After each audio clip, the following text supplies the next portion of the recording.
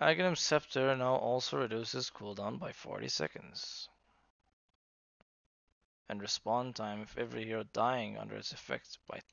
What? Reduces cooldown by 40. Respawn time of every hero dying under its effect by 10%? Holy shit, respawn time is back? really? I can't believe it.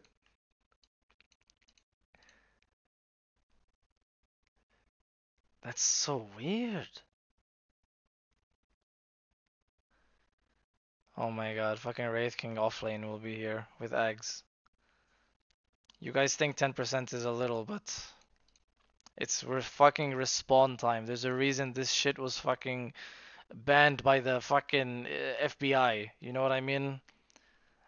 The World Health Organization declared that this shit is broken and the fucking Valve was forced to remove it.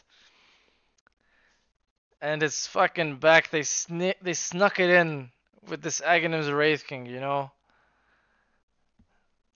It doesn't matter, fucking 1% for all I care. I can't believe this. I'm reading this. Respawn time.